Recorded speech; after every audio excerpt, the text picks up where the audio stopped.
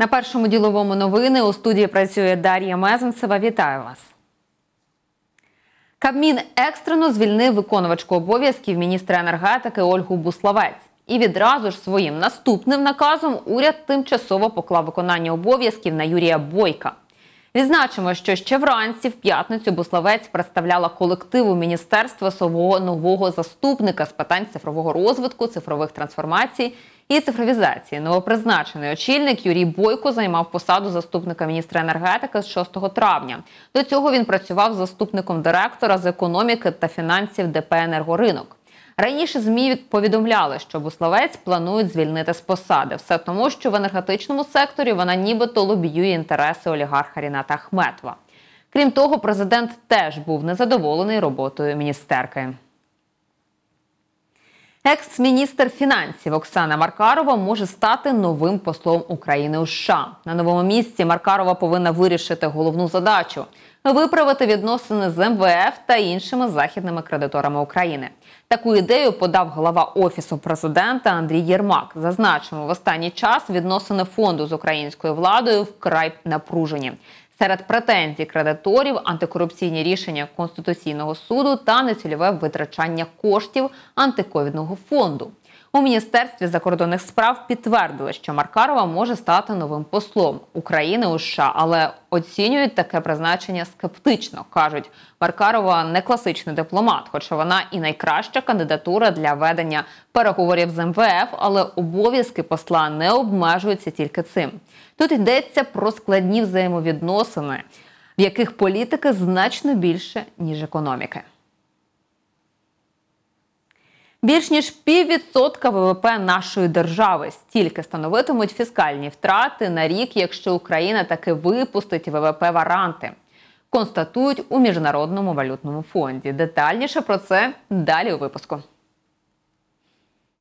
Більш ніж піввідсотка ВВП. Стільки сягнуть фіскальні втрати на рік, якщо Україна таки випустить ВВП варанти. Також це спровокує відсутність стелі виплат після реструктуризації зовнішнього боргу в 2015-му. Такі результати дослідження експертів МВФ. Якщо приріст ВВП за рік буде нижчим від 3% або реальний ВВП не перевищить 125 мільярдів доларів, виплат за паперами не буде. Але якщо приріст реального ВВП сягне понад 3% чи навіть 4%, виплат виплати будуть відповідно на 15 та 40% ВВП. Окрім цього, з 2021 по 2025 платежі обмежені 1% ВВП. Відсутність будь-яких обмежень по виплатах після 2025-го при швидкому зростанні економіки досі критикують окремі вітчизняні політики та експерти. Наслідком кризи COVID-19 може стати низка дорогих і неефективних реструктуризацій суверенного боргу, і варанти можуть зіграти важливу роль в поліпшенні результатів цієї реструктуризації реструктуризації. Проте в уряді ще не врахували досвід їхніх попередніх випусків у Аргентині та Греції. Тому експерти фонду пропонують розглянути стандартизацію випуску подібних інструментів, а також біржових облігацій з прив'язкою до змінної, наприклад, цінами на сировинні товари, яка знаходиться поза контролем держави емітента. Це дозволить уникнути ризиків вимірювання та маніпулювання. Нагадаю, у серпні цьогоріч Україна оголосила про завершення викупу на відкритому ринку близько 11% своїх ВВП ВВП варантів для зменшення виплат по ним у майбутньому. У 2001-му виплати за цими угодами попередньо оцінюють у 40 мільйонів доларів.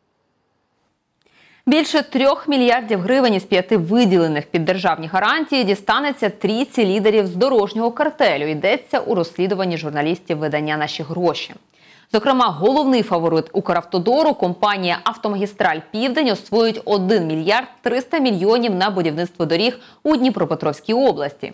Розлогіше про картельну змову у будівельних тендерах далі у матеріалі. 1 мільярд 300 мільйонів гривень державного кредиту дістануться лідеру дорожнього картелю будівельній компанії Автомагістраль Південь. Про таке стало відомо з розслідування журналістів наші гроші. Йдеться про 5 мільярдів гривень, виділених для Укравтодору під державні гарантії. З них 3 мільярди 230 мільйонів дістануться компаніям з Національної асоціації дорожників України, лідерам дорожнього картелю. Та найбільшу суму 25% від усієї суми запозичень або ж 1 мільярд 300 мільйонів при припало на Дніпропетровську область, а саме для тих підрядів, які виконує компанія Автомагістраль Південь, уже неодноразово згадувана в корупційних оборудках. На другому та третьому місцях за сумами виділених грошей під держгарантії опинилися Полтавська та Луганська області. Їм відповідно дісталося 690 та 650 мільйонів гривень. При цьому на Полтавщині всі тендери на будівництво та реконструкцію дороги виграли дві компанії: шляхове будівництво Альтком та турецька ОНУР. А от тендери у Луганській області поділили між собою Автомагістраль Південь, ОНУР Конструкціон Інтернешнл та Роздорстрой. Інші півмільярда отримають інші області: Волинська, Запорізька, Хмельницька та Одеська. Тож 2,5 мільярди запозичень під державні гарантії із п'яти виділених освоїть лише трійка лідерів Національної асоціації дорожників України. Нагадаємо, днями у змі повідомлялося, компанія Автомагістраль Південь через посередника фірму Мадан відмила 340 мільйонів гривень шляхом завищення вартості матеріалів на будівництві доріг. Ще два заводи Укрспирту виставлено на продаж. Аукціони заплановані на грудень. Так, 17 грудня планують продати Войтицьке місце здійснення діяльності і зберігання спирту, що на Львівщині. Стартова ціна об'єкту 32 мільйони гривень.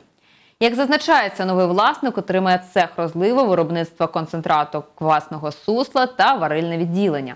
А на наступний день будуть проводити аукціон з приватизації Вишняківського заводу на Полтавщині. Початкова ціна становить майже 22,5 мільйони. У власність переможця аукціону перейде спиртосклад, продильний цех та виробнича лабораторія. Нагадаємо, у жовтні на аукціонах продали 6 заводів Укрспирту. В результаті держбюджет має отримати майже 270 мільйонів гривень. Загалом фонд держмайна очікує отримати близько 2 мільярдів гривень від приватизації 41 об'єкту спиртової галузі. Позов на 600 мільйонів гривень. Адмінсуд Києва відкрив провадження за позовом Державної податкової служби проти Укркосмосу. ДПС вимагає примусово стягнути з держпідприємства прострочену заборгованість за кредитом від канадського експортного агентства.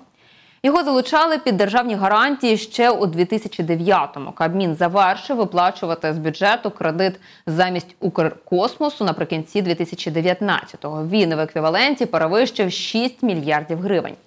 Як встановили у набу, значну частину коштів, які мали піти на погашення позики, вкрали чиновники Укркосмосу. В той же час напівготовий супутник Либідь, на будівництво якого і брали гроші, з 2014 року знаходиться на російському підприємстві інформаційні супутникові системи в Красноярську. Експортери та імпортери України скаржаться, страждають від перешкод їх діяльності. Головними проблемами називають відсутність спрощених правил та непрозорість визначення митної вартості. Що показали результати опитувань? Дивіться у матеріалі.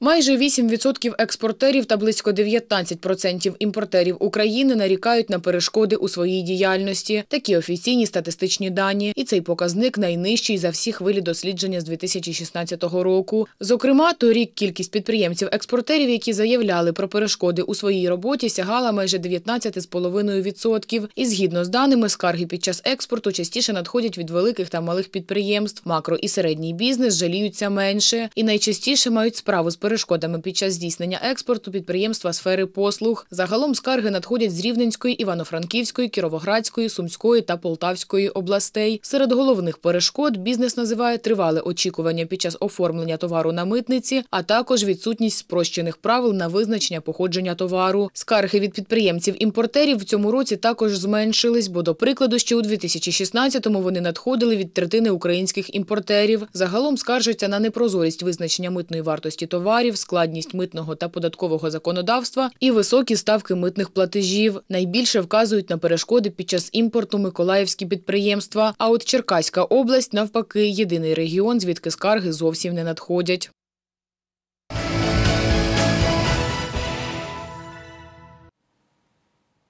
І до подій за межами України спеціальної підтримки не буде. Депутати Бундестагу одностайно відхилили проект про додаткові заходи для будівництва північного потоку. 2 ініціатива, яку внесла на розгляд партія Альтернатива для Німеччини, передбачала усілякими силами на національному та міжнародному рівнях сприяти завершенню прокладання труби.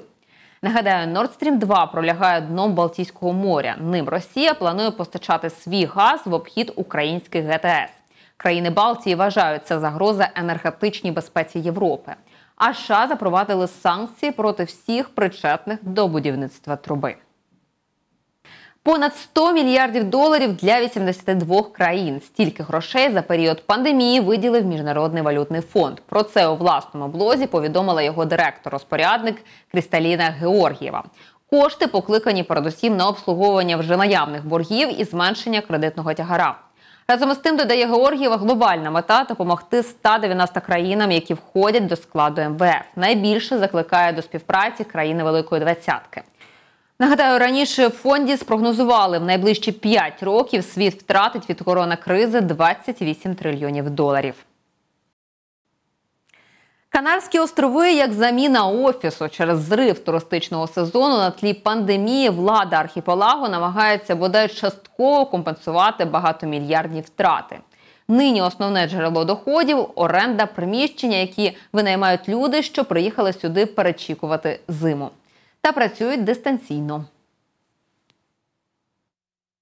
Крістін Бей за фахом фотограф і графічний дизайнер. Уже півроку жінка працює дистанційно через пандемію та карантин. І на цей період переїхала зі свого будинку в Німеччині до апартаментів на Канарських островах.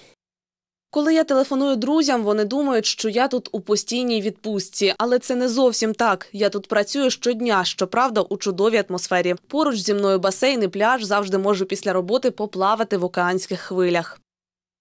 Крістін одна з багатьох, які період зимових холодів і посиленого карантину вирішили перечекати в теплому кліматі.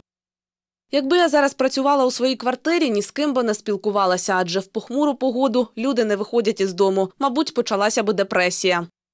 Канарські острови відоме на весь світ місце відпочинку. Та пандемія коронавірусу спустошила місцеві готелі і туристичні місця. Через провал сезону цього року регіон недоотримає 16 мільярдів євро. Загалом у єС на дистанційну роботу перевели до 40% працівників. Цим намагається скористатися влада Канарських островів, приваблює людей нижчими цінами та перспективною обстановкою.